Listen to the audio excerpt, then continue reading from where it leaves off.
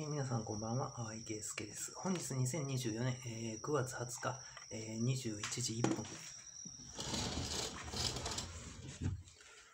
えー岡崎慎司元サッカー選手、日本代表の選手らしき人物と今日横をすれ違ったと思うんですけども、まあ時刻は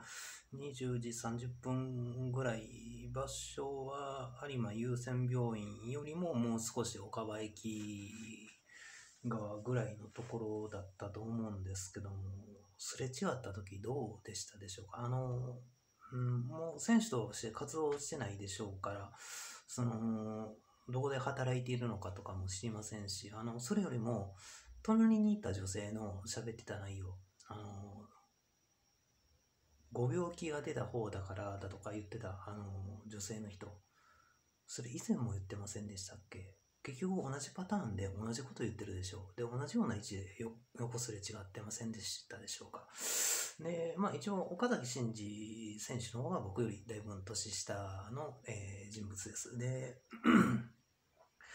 これ、まあ後で結局、多分日本、うんサッカーー代表の監督だった岡田さんという人は、多分、イ・ミョンバク大統領が、えー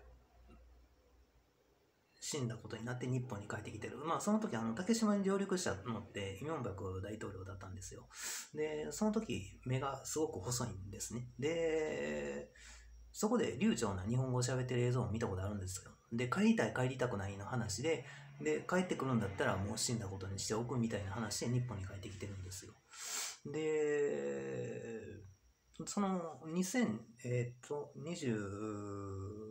2年の、え12月ぐらいか11月ぐらいに宝塚三田病院で医者として現れました。えイ・ミョンバク大統領の方の顔ですね。だから、まあ、100%岡田監督とイ・ミョンバク大統領が同一人物だとは、あのしっかりと言うこともなかなか難しいんですけども、あれだけ目が変わってくると。あのもともとそのの話で、えー2002年サッカーワールドカップは韓国の方が先に、えーベスト8かベスト4か、えー先になってると、まあ、こういうふうな話だったと思うんです。で、これも僕もよくわからないですよ。あのー正直言いますよ。その二十歳ぐらいの頃のの僕がそのスポーツの勝ち負けに関して世の中に公表するような形でああなってます、こうなってますっていうことを、えーお伝えしていましたと。で、親善試合で、えーそれは女子バレーボールなんですけども、もうその時に、あのーいろんなバリエーションを組み込んだ内容が結局神がかり的な力で再現されていると。で、この普段の生活のこの横すれ違う人たちも多分パターンにはまり込んでるんだと思うんですよ。僕も睡眠不足ですし、多分横通り過ぎたのが岡岡崎慎司元日本代表サッカー選手であれば、あればですよ、あの髪型とかも、もうあんまり変わってしまうともう本当にわからないんですよ。顔の原型がある程度その人の顔でも。あの途中で僕はあの岡崎慎司選手の方が年下ですって言ってから顔だいぶ変わってるの分かりますこの辺のほうれい線とあの肉の取られ方。で、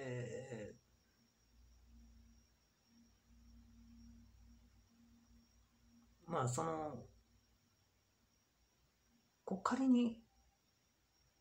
岡崎慎司だという認識が僕は持てたとしても、あらかじめ話す内容を考えてなかったら、多分声出ないと思うんですよ。まあ、だいぶ前ですけども、1、2年ぐらい前、えーそこの、えーイエローハットの後ろか、ホンダ後ろぐらいの道のところ、あの辺りのところで、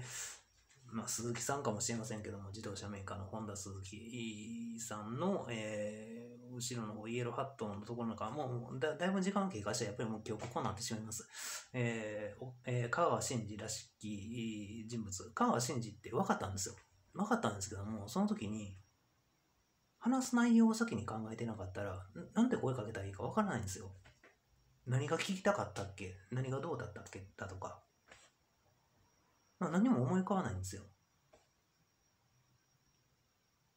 だから、まあ、僕に何か用があって、えー、横通り過ぎるんだったら何かこう、あらかじめ話す内容とかをメモしなかったら、えー、話す内容が何ともあの確認ができない。まあ、うん、まあ、質問状とかそういったものを、えー、あらかじめ作っておくだとか、まあ今日なぜ横を通り過ぎたのかがあの全くわからないのと多分ぐらいでしか、えー、まあ身長とあと顔を一応確認するときに誰かなぐらいでは一応顔見てるんですよ。で、最初見たときは、全然わからへんわ、だったんですよ。で、うん。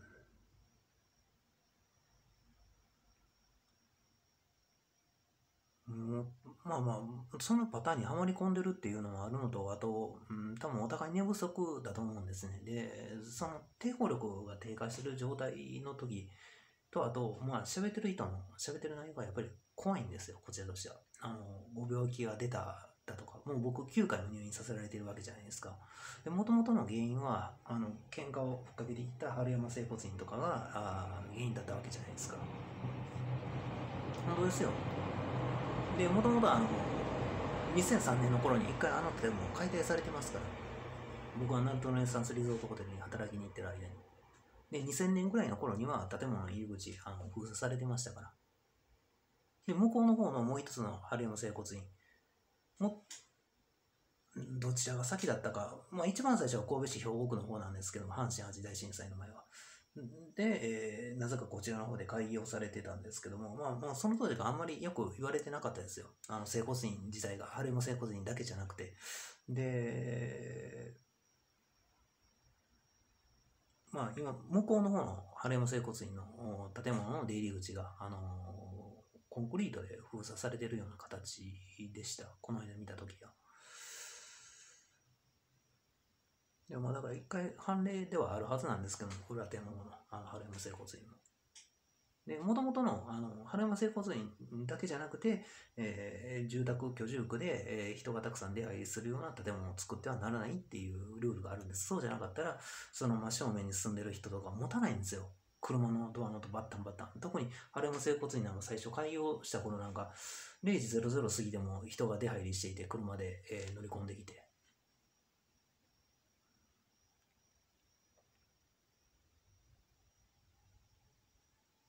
だから今でも電波で攻撃されるとき、夜中の1時00の時間帯、時刻ちょうどにドアの音バタンっていう音、電波で聞かされるんですよ。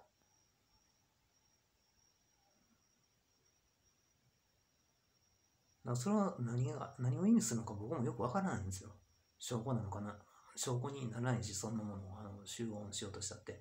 ただしその当時働いていた人間とかの記録を見たらわかるでしょっていうことにもなりますし、これももう10年以上経過してるから、最初の頃。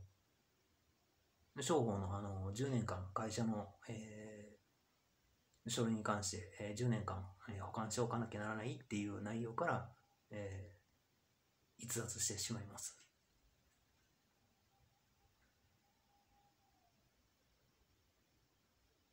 だから多数で一人の人間に対して寄ってたかって嫌がらせをしに来てたわけじゃないですか。で、うん。まあ、それがもともとヴィッセル神戸とか阪神タイガース、兵庫県として見るとですよ、勝ちにくかった現状だと思いますよ。もともとはそうだと思います。だいぶ変えましたけども、状況。だから2003年には建物解体されて阪神タイガース優勝してるでしょ、セ・リーグ。そのセ・リーグの優勝、阪神タイガース、その前を遡ると、1985年の日本一のとこまで遡らなきゃないんですよ。あこれだけあの電波とかでこう繋がってきたときに、例えばこの間のボクシングの試合でも、えー、井上尚弥選手の前の、えー、平岡選手と、あともう一人、えーと、武井良樹選手の試合の時も車のドアバタンってされて、まず、それで一瞬繋がってしまってるから、その人たちは天の神様への安全のお祈りとかしないわけじゃないですか。で、選手とつながってる状態でそこともつながってしまってるから、えーその瞬間まぶたのところあの切ったりしてるんですよだからこれ僕はテレビ見てるのと見てないので、えー全然内容変わってくるんですよ。僕の場合だとルール法律である程度の今まで判例とか義務教育を例にしていて各選手個人個人が責任を持つものだとか、えーある程度そういうところがきちっと、えー対応してますけども、まあ、オリンピックの例で言うと、今年のパリオリンピックで言うと、あのーフェンシング、男子決勝戦、相手の国、えー指に、え2つ指輪つけていて、で、耳にピアスたくさんつけていて、で、自分が得点した時は、えーってこう舌出してニヤーっと笑ってたりしたりしてる人物が怪我するんだったら分かりますよ。だけども既婚者でリーダー格の真面目そうな人ちゃんと結婚指輪の方の指輪。で、えーその試合中もその人が笑ってる映像は見てないです。だけどもその人が怪我してるんですよ。じゃあリーダーって何なのっていう話になってくるわけじゃないですかいや、おかしな、まあ、そのおかしな人間をチーム内に引き入れてるっていうところもあるんでしょうけども、その働く、働くについてですよ。で、そういうふうなところが、ただ、まあ、見受けられるんですけども、まあ、岡崎慎司選手の場合は、えー長年下位に低迷していた、えーチームを、えー優勝するところまで、えー結果を出しましたと。うん確か神戸市か兵庫県内の、えー高校出身だったと思うんですけども、ちょっと待ってください。今誰か通ったみたいなので、一旦ちょっと撮影終わります。